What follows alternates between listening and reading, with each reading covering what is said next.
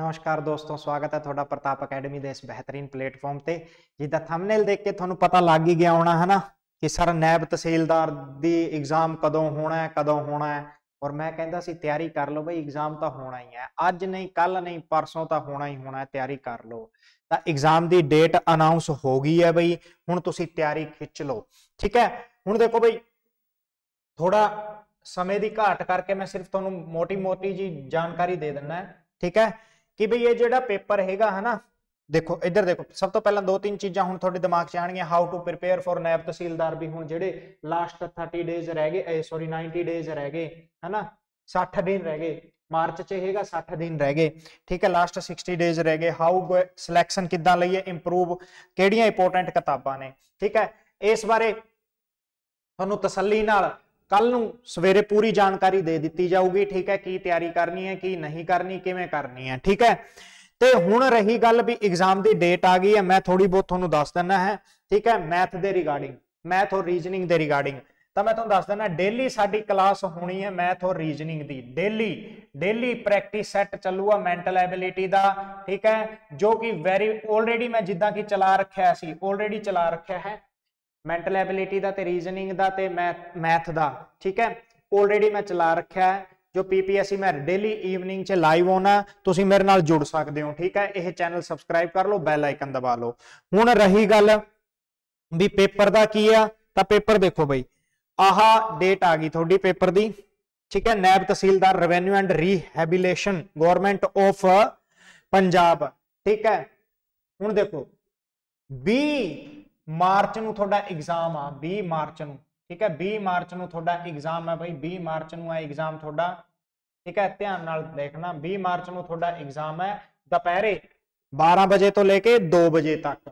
ਠੀਕ ਹੈ? ਇਹ ਪੀਪੀਐਸਸੀ ਦੀ ਗਵਰਨਮੈਂਟ ਵੈਬਸਾਈਟ ਤੇ ਜਦੋਂ ਐਡਮਿਟ ਕਾਰਡ ਆਣਗੇ, ਇਹ ਵੀ ਮੈਂ ਤੁਹਾਨੂੰ ਜਾਣਕਾਰੀ ਦੇ ਦੂੰਗਾ। ਠੀਕ ਹੈ? ਉਸ ਤੋਂ ਬਾਅਦ ਜਿਹੜੇ ਅਦਰ ਐਗਜ਼ਾਮ ਵੀ ਪੀਪੀਐਸਸੀ ਨੇ ਕੰਡਕਟ ਕਰਵਾਏ ਸੀ, ਹੈ ਨਾ? ਜਿਹੜੇ ਅਦਰ ਐਗਜ਼ਾਮ ਵੀ ਪੀਪੀਐਸਸੀ ਨੇ ਕੰਡਕਟ ਕਰਵਾਏ ਸੀ, ਉਹ ਵੀ ਦੇਖ ਲਓ।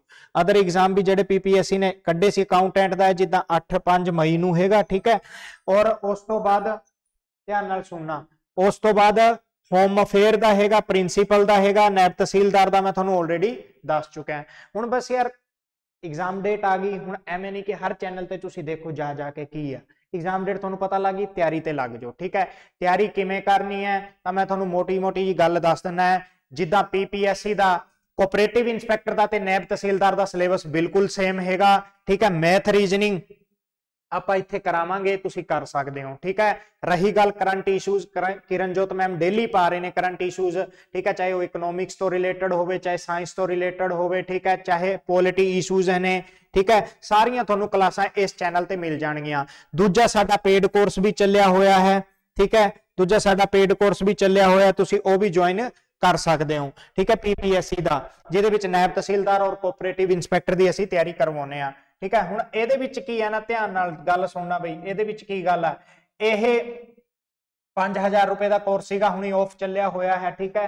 5 ਤਰੀਕ ਤੱਕ ਇਹ ਕੋਰਸ ਹੈਗਾ, ਠੀਕ ਹੈ? ਹੁਣ ਇਹਦੇ ਵਿੱਚ ਕੀ ਗੱਲ ਹੈ ਕਿ ਇਹਦੇ ਵਿੱਚ ਅਸੀਂ ਪੀਪੀਐਸਸੀ ਔਰ ਕੋਆਪਰੇਟਿਵ ਸੇਮ ਸੇਮ ਹੀ ਸਿਲੇਬਸ ਹੈਗਾ, ਤਾਂ ਇੱਕੋ ਹੀ ਕੋਰਸ ਲੈ ਕੇ ਤੁਸੀਂ ਵਧੀਆ ਤਰੀਕੇ ਨਾਲ ਪੜ੍ਹ ਸਕਦੇ ਹੋ ਤੇ ਆਪਣੀ ਤਿਆਰੀ ਬਿਹਤਰ ਕਰ ਸਕਦੇ ਹੋ, ਠੀਕ ਹੈ? ਸਾਡੀ ਐਪ ਹੈਗੀ ਆ ਪ੍ਰਤਾਪ ਅਕੈਡਮੀ, ਤੁਸੀਂ ਇਹ ਜਾ ਕੇ ਐਪ ਡਾਊਨਲੋਡ ਕਰ ਲਓ। ਪਲੇ ਸਟੋਰ ਤੋਂ ਤੁਹਾਨੂੰ ਕਲਾਸਿਸ ਜਿਹੜੀਆਂ ਕਰੰਟ ਇਸ਼ੂਜ਼ ਨੇ, ਉਹ ਉਹਦੇ ਵਿੱਚ ਪੈ ਜਾਣਗੀਆਂ। ਬਾਕੀ ਡੈਮੋ ਕਲਾਸਾਂ ਅਗਰ ਦੇਖਣਾ ਹੈ ਕਿ ਕਿਸ ਹਿਸਾਬ ਨਾਲ ਅਸੀਂ ਕਰਾਉਨੇ ਆ ਤਾਂ ਉਹ ਤੁਸੀਂ ਦੇਖ ਸਕਦੇ ਹੋ। ਕਿਰਨਜੋਤ ਮੈਮ ਨੇ ਬਹੁਤ ਵਧੀਆ ਤਰੀਕੇ ਨਾਲ ਕਰਾਇਆ। ਅੰਕਿਤ ਸਰ ਨੇ ਹਿਸਟਰੀ ਜੋ ਹੈ ਐਂਸ਼ੀਅੰਟ ਹਿਸਟਰੀ ਬਹੁਤ ਵਧੀਆ ਤਰੀਕੇ ਨਾਲ ਕਰਵਾਈ ਹੈ। ਠੀਕ ਹੈ? ਤਾਂ ਪ੍ਰਤਾਪ ਅਕੈਡਮੀ, ਠੀਕ ਹੈ? ਪ੍ਰਤਾਪ ਅਕੈਡਮੀ ਔਰ ਐਗਜ਼ਾਮ ਕਿ ਆਹ ਸਾਡੀ ਐਪ ਹੈ ਮੈਂ ਤੁਹਾਨੂੰ ਦਿਖਾ ਦਿੰਨਾ ਠੀਕ ਹੈ